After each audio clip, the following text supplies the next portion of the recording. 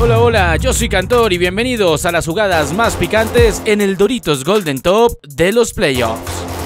En el top número 5 tenemos el intento de Baron Nasher por parte de Ternum. Sin embargo, Loto no se lo iba a dejar tan fácil, o eso pensaban. Se giraban los jugadores de Ternum y comenzaban a castigar a la flor de Loto, que intentó escapar a través de su jungla, pero no fue suficiente. Por poco exterminio y todo decantó en un Baron Nashor para el equipo rojo. La cuarta posición es de esas jugadas de si parpadeas te lo pierdes. Y es que estaban intentando castigar el Baron Nashor los jugadores de Eternum, pero no contaban con Kindle. Y ese disparo furtivo para poder terminar con el objetivo se iban con las manos vacías los chicos del equipo rojo. Y además de esto, perdían a su soporte. Muy buena jugada por parte del tirador de Loto.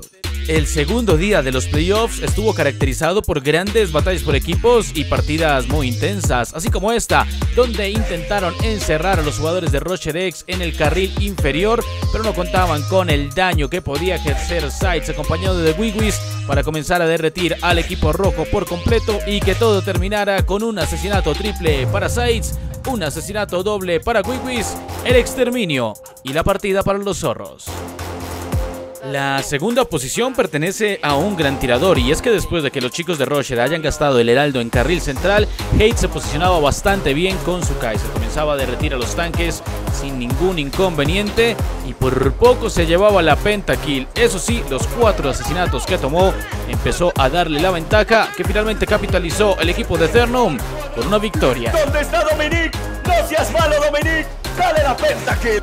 Hemos llegado a la jugada más importante de todo el top, la más picante a manos de Shield, el jugador eh, de Eternum que comenzaba a golpear a Murillo, que intentaba también jugar un poco con su mente y el doble de la Leblanc, pero no era suficiente. Gastaba la habilidad definitiva, la Casiopea, y comenzaba ahora a impactar y a derretir los tanques enemigos por completo. Asesinato doble que no iba a terminar allí. Destello para poder quitarse un poco el agro, el miasma para anclar al piso a sus enemigos, llevarse una triple. Terminaba muriendo, sí, pero esto fue muy beneficioso para los jugadores de Cerno.